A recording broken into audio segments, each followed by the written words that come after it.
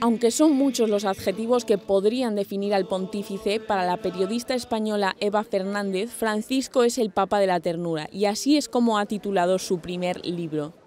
Había algo en especial del Papa Francisco que llevaba, que removía el corazón de las personas y me di cuenta que había una raíz común en muchos de estos gestos que era la ternura. Me di cuenta que había que contarlo, ¿no? Para que todo el mundo pudiera participar de esta raíz común que tanto me había llamado la atención y que realmente conseguía cambiar el corazón de las personas. Eva Fernández trabaja desde hace tres años como corresponsal de la cadena COPE en Italia y el Vaticano. Durante este tiempo lo que más le ha impresionado son los gestos de Francisco. Ha visto personalmente muchos de ellos en sus viajes junto al Papa y en la plaza de San Pedro. Dice que no se trata de simples gestos, sino de una traducción en palabras del mensaje de sus discursos.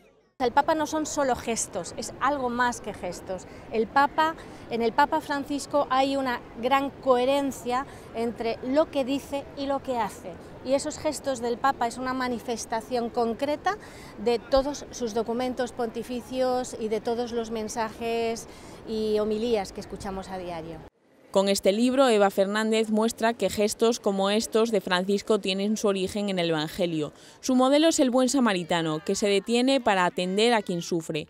La propuesta del Papa a los católicos es que centren la mirada en los Evangelios hay algo que, efectivamente mm, eh, llama la atención, que es, lo que, eh, es esa palanca, que es lo que lleva al Papa Francisco a recorrer kilómetros de distancia simplemente para encontrarse con el dolor de un pueblo que mm, no llama la atención del mundo y que el Papa con estos desplazamientos en cierta forma hacia sus periferias, lo que quiere es poner el foco de, atención de políticos, de instituciones sobre un determinado grupo de personas, sobre unos refugiados huyendo de la guerra, sobre unos cristianos perseguidos, sobre una minoría musulmana como los rojilla, para que todos digamos aquí hay que hacer algo.